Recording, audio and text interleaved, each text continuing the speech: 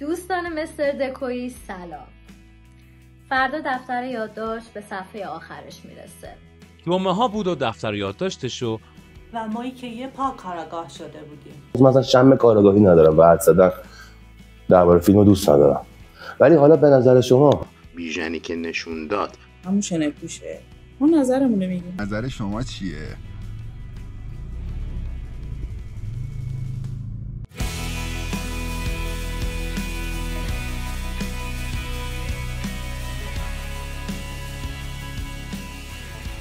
اول حرفا می‌خوام از شما تشکر بکنم. از شما دوستای مستر دکویمون که توی این مدت که دفتر یادداشت پخش می‌شد کنار ما بودین توی یوتیوب توی گروه تلگرامی در مورد دفتر یادداشت و حدسامون کلی گپ و گفتگو داشتیم. و می‌خوام دوم تشکر بکنم. یه تشکر خیلی خیلی ویژه از سازندگان دفتر یادداشت از همه کسانی که برای ساخت این مجموعه زحمت کشیدن فعالیت کردن و چیزی رو به ما ارائه کردن که واقعا در حد فهم و شعور مردم کشورمون بوده. اینو بدون اقراق میگم. بعد مدت های سریال کامل استاندارد و خیلی خوب دیدیم. درست نقصایی هم می‌تونست داشته باشه اما خب بالاخره نقاط مثبتش از نقاط منفیش خیلی خیلی بیشتر بود. توی این سریال تا حالا هر کدی بهمون داده بیخود نبوده. و بعدا متوجه شدیم که این کدا هر کدوم یه جایی بده درد ما خورده و کلید قضیه بوده. دو تا اسم برده شد. همونطور که شیرین خانم قبلا بهش اشاره کرد. یکی محتشم که کاربردش رو قبلا دیدیم. ربط داشت به اون کسی که گریم می‌کرد لوازم گریم داشت و خودش رو گریم می‌کرد. این یک کده. اینو در نظر داشته باشیم. و کد دوم پزشکزاد. پزشکزاد می‌تونه به شدت به ما کمک کنه برای پیدا کردن انگیزه. انگیزه قاتل یا قاتلین به قول لاله که زل قاتلین رو تشکیل میدن. حالا بیژنی که می‌تونه جزو از اونا باشه که از منظر من هست یا از منظر کسی نباشه. پزشکزاد معروفترین رمانش دایی جان ناپل اونه خب همه ما تقریبا. یا دایی جان ناپل رو خوندیم یا سریالش رو دیدیم. معروف ترین چیزی که در دایی جان ناپل اون می‌تونیم پیدا کنیم و تم این داستانه چیه؟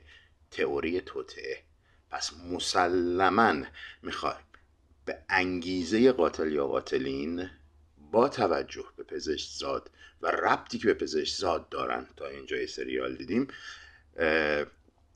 به انگیزهشون برسیم. انگیزه ای که احتمال بسیار قوی یک توهمه. یک توهم که باعث شده این عالم آدم به خاطرش کشته بشن. تئوری توته تئوری توته که گروگانگیر می‌تونه بیژن یا کسی که خودش رو بیژن جا زده یا کسانی که بیژن رو هدایتشون می‌کنه یا بخشی از اون هست باشه. این نظر شخص من بود. دلیلی هم نداره درست باشه حتما. نظر خودم همونیه که قبلا تو برنامه ها گفتم. تخیلات ذهنی یه نویسنده است که داره می نویسه یه داستانی رو داره می نویسه و ورق می‌زنه. رو همینم هستم. به خاطر فکتایی که گفتم. همونطور که می‌دونیم شمس و شعله خواهر و برادر بودن و شمس میره فرانسه بزرگ میشه و شعله در اون پرورشگاه میمونه. من این حدس رو می‌زنم که احتمالا شمس سالها دنبال خواهرش میگرده و اونو پیدا می‌کنه و به فرانسه می‌بره. و در فرانسه اون و برادر بزرگش یعنی خانواده پزشکزاد عاشق هم میشن. چون صاحب چهار فرزند دیگه هم بود که توی عکس دیدیم که راجب اون دو فرزند دیگه هم یه فرضیه دارم و البته دلم می‌خواست اینجوری بود به خاطر اینکه شمس به نوعی طرفدار گروه LGBT ها هم هست از تیام هم می‌شد اینو بفهمیم. خودش هم یه گرایش های زنانه ای داشت. شاید دلبسته برادرش بوده و بعد که علاقه شمس و اون رو می‌بینه هم از طرف برادر سرخورده میشه. برادر خوندش هم از طریق شعله ای که انقدر دوستش داشته و اون ماجرای فندک و هلیکوپتری که از محتشم توی سالمندان دیدیم. اون به بهونه ازدواج شعله و برادر بزرگش اونها رو به ایران میاره و بعد در, فرانسه هم خانواده پزشکزاد یعنی اون خانم و آقای پزشکزاد رو از بین می‌بره و حتی اون دوتا فرزند دیگرشون هم به ایران میاره. اونجا در ایران به بهونه ازدواج اینا حتی شاید اون باری که عروسی مادر منیر هم رفتن در واقع در همون دوران باشه. و تصمیم می‌گیره که حتی از کارگاه امانی هم که اون رو مسبب جدایی خودش و شعله می‌دونه انتقام بگیره. چجوری؟ اونم اون که زندگی دختر کارگاه امانی رو به هم می‌زنه به وسیله شرار شرعی که شاید خودش هم عاشق شمس بوده باشه و این کار به خاطرش عشقش انجام میده. و در نظر گرفتن منیر منیری که نوه کارگاه امانی بوده و در نهایت خودش هم با منیر ازدواج می‌کنه. به نوعی دو نوع انتقام از اینها می‌گیره. شهین هم من حدس می‌زنم که خب قطعا جاسوس خود شمس باید باشه ولی شاید فرزند خونده اون باشه. حالا یا نسبتی با قراب داره یا اینکه کلا مثل فرزند خونده های دیگه است. و البته شمس که با ازدواج و تشکیل خانواده هم بسیار مشکل داره. همینجور که می‌بینیم فرزند پسری ایرج رو از بین می‌بره. ازدواج قراب رو به هم می‌زنه و راجبه حمید. حمیدی که الان می‌بینیم مشکل داره و تکرر ادرار داره و حتی بچه دار هم نمیشه. شاید همه اینها آسیب ها و ضربه هایی باشه که شعله و شمس به نوعی به حمید زدن. حدسای زیادی زدیم این مدت ولی در مورد اون دوتا فرزند دیگه من حدس می‌زنم شاید ممکنه که اون دوتا فرزند دیگه یکیش مادر قراب باشه و یکیش هم مادر ایرج و سیمی باشه که خیلی کم در ازش یاد برده بود. خب همه یه فکرهایی می‌کنن که قاتل یه نفر نیست یه مثلث قاتلین داریم. مثل کسایی که بیرون هم بهشون کمک می‌کردن یکی مثل تیام و کسای دیگه. حالا شاید شهین دربند. حالا این مشخص میشه. من خودم حدسی نمی‌زنم چون حد زدن رو دوست ندارم و برام جذاب نیست. دوست دارم اون چیزی که هستش رو به هم نشون بدن برام به تصویر بکشن. یعنی پایان باز هم حتی دوست دارم اون چیزی که خودم فکر می‌کردم دوست دارم اون بشه رو برام به تصویر بکشن. ولی دوست ندارم مانیر مرده باشه. در نمی‌دونم چرا شاید واسه اینکه تو این فیلم خیلی خودش خوشم میاد چیز دیگه این بود که ببین یه سریال کمدی نواری که کمدیش واقعا تنزه نوارش هم واقعا جناییه. یعنی دقیقا همون جوری که میلاد عزیز گفت هر کیوی هر کدی که بهتون داده بودن شما بعد فیلم بهش می‌رسی. یعنی بعد تو قسمت های فیلم بهش می‌رسی و برات مشخص می‌کنی که چیه. خب این خودش خیلی مهمه. تو یه فیلمی که ما 7 10 تا هنرپیشه داریم که همشون دارن تاپ بازی می‌کنن. حالا من اسم نمیارم چون همشون عالی بازی می‌کنن. واقعا هیچکی تو این فیلم نیستش که این نقش برای اون ساخته نشده باشه. به نظر من که همشون عالی هن. و اما حدسی که من در مورد قاتل دفتر یادداشت می‌تونم بزنم اینه که شمس یا بیژن؟ همه ماجرا نیست. یعنی ماجرا یه چیز دیگه مثل این مدت که همه حدس زدیم. و حدسامون به واقعیت ربط داشت. بی رفت از ماجرا نبود اما واقعیت اصلی نبود. الانم به نظر من همینطوره. اما اگه بیژن یا همون شمس قاتل بوده باشه من فکر می‌کنم انگیزه بالاتری داشته. انگیزه ای که صرفا به خاطر خیانت یک مرد به همسرش نبوده.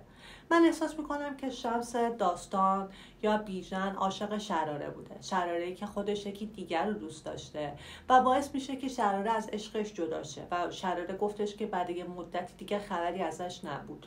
بعد اون به اینا برمیگرده و دوباره عاشق یکی دیگه میشه که فرهاده. و این بار هم بیژن یا شمس می‌بینه که شراره عاشقش نشده و باعث میشه این قتل ها پشت سر هم اتفاق بیفته و خب از شعله هم استفاده می‌کرده برای رسیدن به اهدافش. برای همین فکر می‌کنم که عشق شمس یا بیژن به شراره مسبب تمام این اتفاقات بوده. با اون بکگراندی که از بچگی توی ذهنش بوده یعنی خیانتی که پدرش به مادرش می‌کرده. و این کلا فکر می‌کرده که مردا همه موجوداتی هن که باعث میشن کسی زندگی خوبی نداشته باشه نتونه عاشق باشه و حالا هر چیز دیگه نظر من در موردش اینه. نظر شما رو خیلی دوست دارم بدونم و یه تشکرم می‌کنم از بچه های تیم خودمون که توی این مدت واقعا خیلی زحمت کشیدن. دم همگیتون گرم. بریم ببینیم که فردا قاتل ما کیه. در آخرش هم می‌خواستم تشکر کنم از آقای خاکباز و کرش اسدی زاده که با این سریالشون نشون دادن که نه ما می‌تونیم سریال های خوب بسازیم. نه مثل سریال که خوب شروع میشه داغون تموم میشه. و برای مخاطب ارزش قائل هستید. از طرفی هم تشکر کنم از آقای عطاران حسن مجونی و خانم خلیق که بهترین بازیشون بود و خیلی دوستشون دارم. براشون آرزوی سلامتی دارم. و اینکه گروه تلگرامی خودمون که هر جمعه کلی بحث و تبادل نظر داشتیم. امیدوارم این نظرها کم نشه بچه تلگرامی.